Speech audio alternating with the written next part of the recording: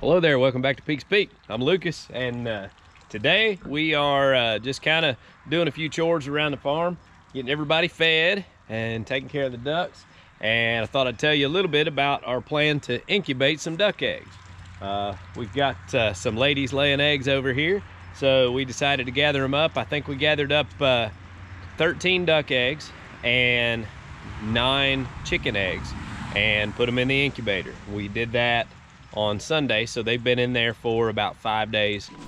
So when we prepare eggs for the incubator, we just wash them with a little bit of Dawn dish soap and scrub the dirt off of them so they'll be clean and ready to go in.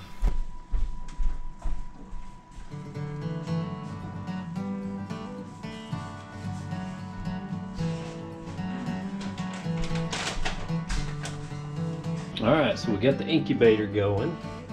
Now we actually need to take this off and put water in it first. Set these eggs. Oh, this water? Yes.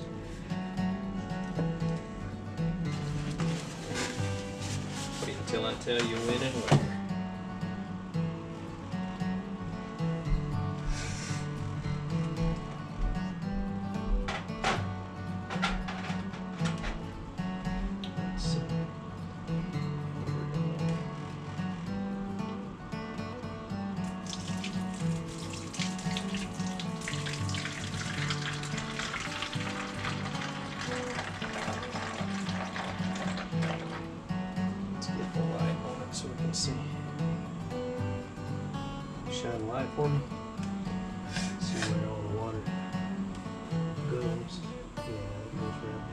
Here, so we need some right here.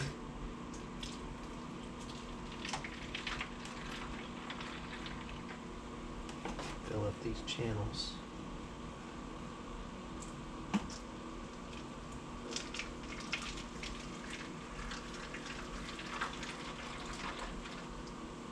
Okay. We got all the water channels filled up. Like this one. Um, I don't think. Yeah, that's like the open area around it. We don't fill that. We're almost up to 99 and a half. I would say with the lid on, we probably are. So, we are ready to load it with eggs. And here's what we want to do. We want to spread them out in there, okay? So, just pick a spot.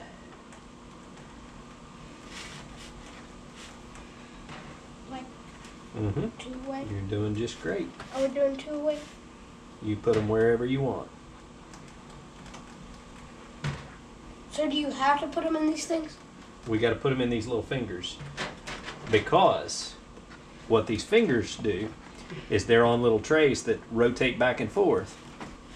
And that keeps the eggs turning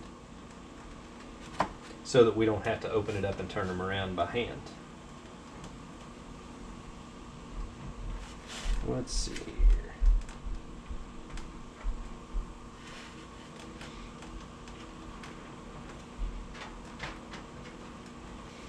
I think I should be able to see the thermometer like that. So let's get the lid on.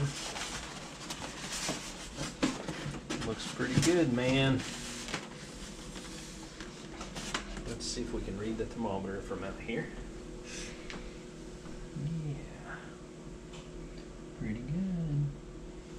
Now, we gotta wait about a week and then we can candle them and see if they're fertilized. Yeah, remember the, with the flashlight, you call that candling. But we use the flashlight and we set them on there and see or if we can see could use veins. the candle. Well, but it would be more efficient with a flashlight. Yeah. So, our incubator has just a little thermometer sitting down in there. And right now, it's where I had the lid off, it's cooled down, and so it's actually not quite up to 90, but we've got it set to where it'll get up to right at 99 and a half, and I'll check it over the next few minutes. Ours doesn't take very long to get it to the right temperature, so I'll check it in a little bit and make sure it's at 99 and a half and not getting too warm. But we've got a fan circulating in there. We filled up the little uh, water reservoirs with water, and uh, yeah, so now we wait and see how they do. Now, these eggs we just picked up from our ducks out over in the duck sanctuary, and we don't know if they're fertilized or not. Um, In fact, I know there's a male over there, but you know. Um, anyway, so we'll test these in about a week with the flashlight and see if they look like they're fertilized and uh, go from there. We'd like to hatch some ducks to put up on our pond. We got everything all set up in there, got the temperature just right, 99.5 degrees, and uh, put the water in there, got the humidity up a little bit, and uh, so yeah, hope, hoping to have some little ducks, and once those ducks hatch, the plan is to put those ducks on the pond. I have also been told that ducks living on a pond will help to seal a pond so that it doesn't lose water because as they swim around, they poop in the water. So if I can put 10 or 12 ducks up there and uh, and they live up there, it'll be something kind of fun to have and uh, maybe that'll help us out along the way. So we've got uh, we got this little duck house over here. Um, it's not a duck house yet, but that's that's kind of the plan. Uh, my son brought it home thinking he was going to make a quail coop, but it's been sitting there for several months and he hasn't touched it. So I'm probably going to nab it out from under him and uh, make a duck house out of it. Uh, let's hope he don't find out. Uh, but anyway, that's that's kind of what we got going on so far. Hope you guys enjoy the video. Look at you birds. Y'all ready to eat? Come on. Come on. Go on, Tom. Hey, Casper.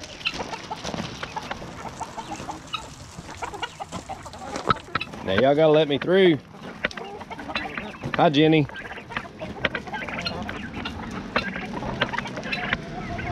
All right. Well, hey, Chuck and Patty. Y'all hungry? Huh?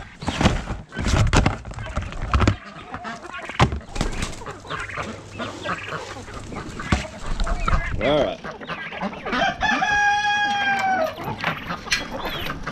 Go on.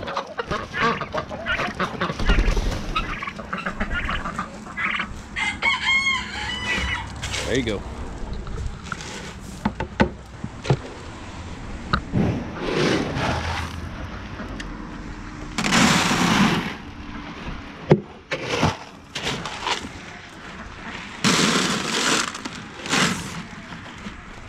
You better get Alfie some.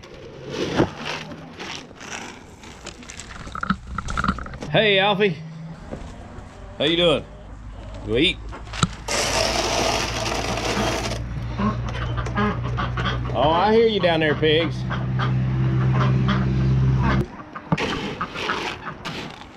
Some layer pellets.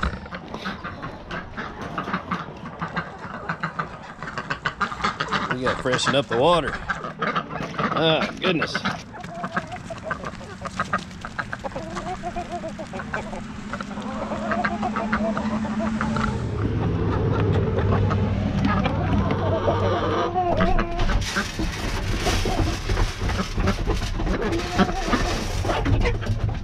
All right. Hey, duck. Go on in. Get up there. There you go. Look at that sloppy mess, would you? Huh?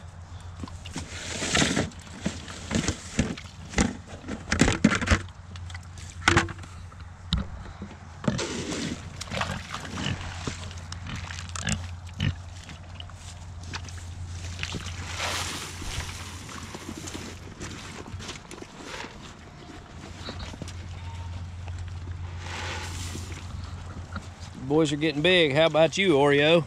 Huh? Y'all stink just a little bit. You know it? Just a little bit.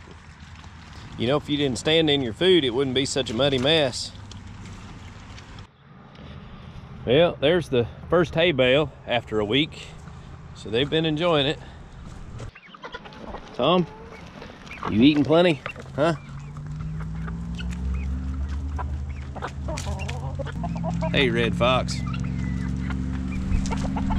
Well, here. I'll give y'all a few, few of the ducks pellets. Not many. Got to save them for them.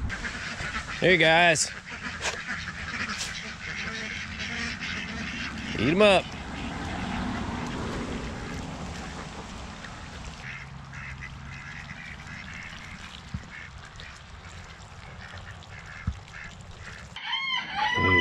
You pig. Come here. Come here.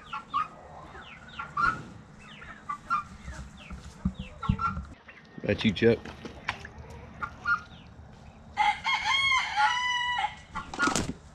All right, now I gotta run the Kubota up the hill to the neighbors. I'm gonna borrow his post auger so I can get ready to drill some holes for my new building. So we're not gonna be drilling any holes today, but he's home, so it's a good time to get hooked up to it and uh, get ready for work. So I'm gonna run up there real quick. All right, so we're back with the post auger.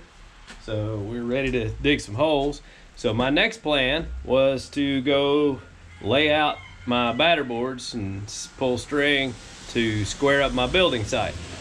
However, it is raining and nasty, and I don't think it's to stop for a few days. So I kind of missed that window. I was hoping I'd get an hour or two before, or when I got home from work today, uh, to get it uh, squared up and kind of get that laid out. But uh, doesn't matter. Can't drill holes in the rain anyway. Um, the building probably will be delivered either in a couple of days, um, maybe on Friday or Monday. So uh, we're looking forward to that rolling in here. But uh, we're not going to be able to do anything on it until next week anyway. So I guess no big rush. Um, I just kind of hate to have an evening wasted by the rain, but ah, it's it's nice and we could use it. Maybe it'll fill that pond back up.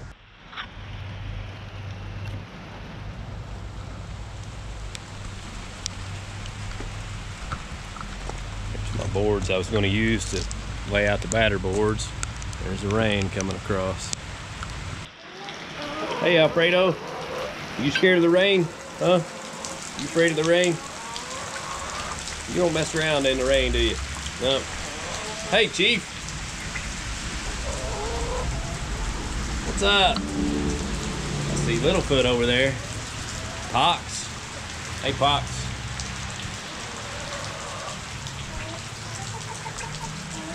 They all like to get in out of the rain, even Tom and Jenny. Surprisingly, Chuck and Patty, they normally come in out of the rain, but they're grazing. And by grazing, I mean eating the hay. That's good. I'm glad they like it. I hate to be filling up the watering trough when we've got forecast for rain, but it was pretty dirty, so I had to dump it out and wash it out. So uh, go ahead and get it filled back up for them. Now the ducks don't seem to mind the rain. Got some mud around here now. About time to haul in some wood chips. Wood chips help us to keep the mud under control for the winter. Hey, Chuck and Patty. Is that good? You guys digging into the middle? Of course, Chuck, he always wants Patty to be between the two of us. Patty, you're growing right up on me, you know it?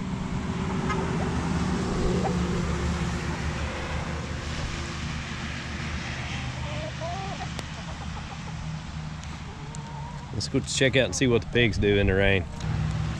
Yep, there they are. Look at you all hiding out in there.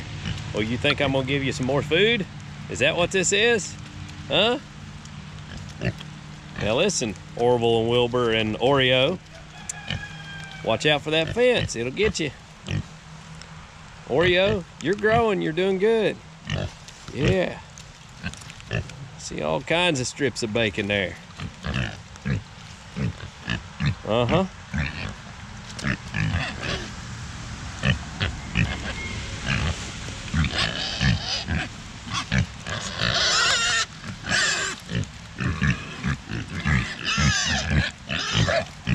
What's that mean? Does that mean feed me some more? Huh?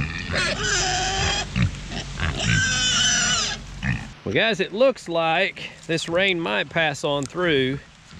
Looks like it might pass on through in the next half hour or so. So I might get out there and do a little bit of work building the batter boards anyway, and getting them set up.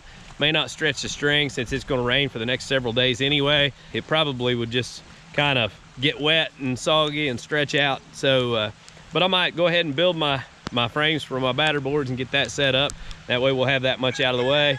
Then when it's dry and I'm ready to get to work on it, I can go ahead and stretch the string and measure it out and get everything set up and ready to go. So, uh, you know, not a whole lot of action in this video other than the daily chores and kind of getting things uh, set up. But, uh, you know, that's kind of the way things go. It's not always uh, action packed around the homestead, but we've always got a little bit of something going on. So hope you guys enjoy the video today and y'all have a good weekend.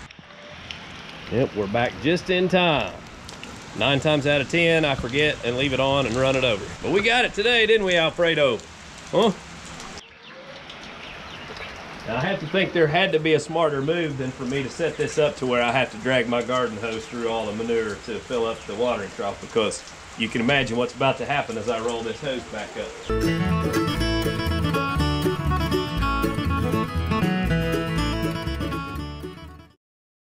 Hey, Tom. Hey, Jenny.